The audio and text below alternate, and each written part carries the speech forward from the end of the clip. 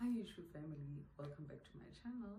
If you're new here, I'm Theresia and I'm also well known as Monzo, a very popular nickname. So today, I mainly do makeup videos, but today I'm doing something different. I'm actually going to be talking about natural hair mistakes that I am currently making and I'm going to be sharing, you know, the recommendations of what to actually do, you know, instead of, you know, this ongoing cycle of making mistakes over and over and over. The first thing that I have done that has helped me to get more information, you know, in terms of researching all this is just really YouTube. Searching for how to take care of natural hair, you know, specifically 4C. Just wanted to clear, I'm not a natural hair YouTuber or expert. I'm just going to be sharing my experiences, the things that I'm doing now that I already know that they're making my hair break, dry, and are just not recommended, are just not keeping my hair healthy. Also manipulating it a lot. But I'm going to be telling you about all those things that I'm doing.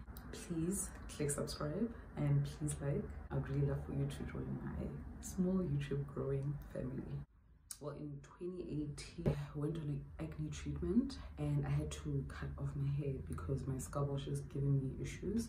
So since then um, i've just been cutting my hair cutting my hair and then i just decided to grow it. But at the time that i decided to grow it i wasn't necessarily like on this natural hair journey trying to keep it healthy and stuff like that. It was just short right? But over time as it grew up i was like you know what? Let me actually invest in it you know? Um i can at least twist it. It's long enough. So that's when i started so every other week or two um, i wash my hair keep it in twists and then maybe after some time take out the twist just comb it out you know just detangle. And then the next day maybe like twist it again. But for quite some time I've been like watching YouTubers, you know, um, with natural hair, like 4C hair, just giving recommendations as to how they keep their hair healthy, moisturized, hydrated, and how that ultimately fosters growth. Actually, I started, um, I think every other two weeks, started washing my hair using a shampoo. Now, the issue with the shampoo that I have been using all along, I think I bought it probably in like Feb, and now it's August, right? Um, the the issue with that and according to what i have watched um, and what i've heard works is a shampoo that is moisturizing on top of that um, a shampoo that does not have sulfate as an ingredient. The shampoo that i use has that. So um, after this hairstyle i'm gonna stop. the using that shampoo and I'm actually going to be using this apple cider vinegar. I bought it at Pick n Pay, the Nature Nature's Choice Whole Food Specialist Filtered Apple Cider Vinegar. That's how it looks. And it's like I literally bought this yesterday and um, I got influenced and natural hair YouTubers were recommending that try using, you know, apple cider vinegar um, as a shampoo or rather as a cleanser instead of a shampoo because a shampoo sometimes may be a little bit too dry. So instead of going to get like a shampoo what i'm going to start doing is actually using the apple cider vinegar to just um, use it as a wash. I'll then rinse it off. Because obviously right now my hair is extremely dry. Like i just haven't been doing it right. And every time i shampoo it's still dry. I wasn't using the right shampoo as well that is like friendly you know to natural 4C hair and things like that. Number two mistake that i'm currently doing is that my hair is always manipulated.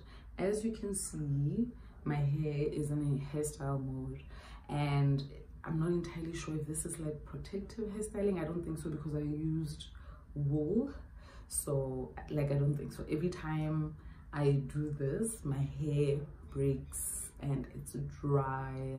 Every time i go home every time I go to my mom's house, like she always says, "Oh my God, this hair does not look nice." Let me just like you know plait it for you and just neaten it up, you know. And I'd be like, no, no, no, no, no. I shouldn't be doing anything to my hair. I should just let it, you know, remain in, in its natural form. You know, that's how it will stay moist and healthy and stuff like that.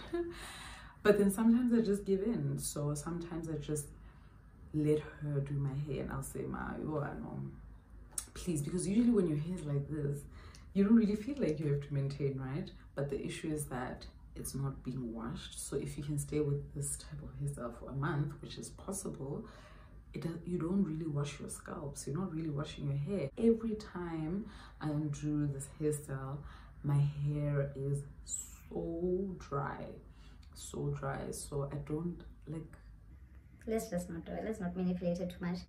the third one is that i don't moisturize my hair so you know the LOC method how you start with a liquid and then you use an oil and then you go with a cream or like a butter i don't have that so all along I'd literally just wash my hair using that shampoo in the shower and then I would actually start twisting it. So I'd grab my I have a, a conditioner a leave-in conditioner that I use from country. I'd use that and just you know um, put it on my hair using the pray method you know and then start twisting my hair and put the oil as well together. But I never used the the cream or like the moisturizer to actually lock in that moisture. So I find that my hair is not as moist and a solution that I found and seen um, you know some youtubers using was that if you don't have a cream in the meantime i've seen people actually use vaseline. They um, did not entirely say if it's something they use in the long term or not but something that they used and um, you know it defined the hair so nicely. So um, i'm not really clued up as to is it an every week thing this vaseline thing or what but i've seen probably about three popular natural hair youtubers like use the vaseline in one of their tutorials to show how to apply it and what benefits or what it can help um, with your hair one two three right. Okay the fourth mistake that i am still currently doing is that um so i have not actually been wearing a doek you know when you have like short hair? Like there's no like what is this short? Like you, you you just don't see the need excuse me you don't see the need to put in like effort on wearing a doek and stuff like that. It's like sure. at the time i was just like there's no need right? And when i manipulate my hair like this um then i would wear a doek right?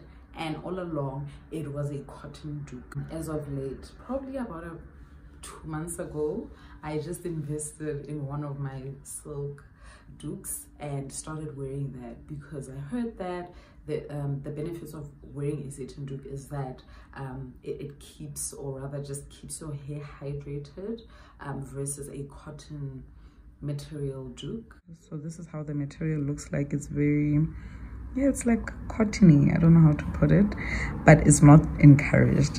However this one is very silk um, material as you can see like I'm not sure the difference between silk and satin but um, they close enough so I use that. Actually you know not necessarily wear a doek but sleep on a satin pillowcase. That's something that's also recommended. Yeah one of the other mistakes that I'm doing right now is that I don't deep condition my hair. I'm yet to learn how to deep condition. Still just trying to see if, you know, my hair will, you know, stay healthy and can be well maintained and things like that. Because I've seen, again, YouTubers, influencers do that routine and it's very beneficial for, you know, the health of our hair. I'm not entirely sure, I think it's done once a month or once a week. I actually don't know um, but I know that it's something that you know is done. The last but not least mistake that like I can't believe I'm still making all these mistakes. Nonetheless, is that I dry my hair with you know like maybe after like after you wash your hair, I would go use a towel and just dry it up, right? And apparently that is not the way to go um, apparently um, you need like a microfiber towel or like a t-shirt an old t-shirt that type of material. Or you can just let it air dry. I'm willing to explore all those options. So yeah if you're like me and you know you're really still trying to figure out and you know i'm trying to really invest in your natural hair i hope some of the solutions that i've read about and some of the research that i've done will help you. And yeah um, i'll see you in my next youtube video. Mm.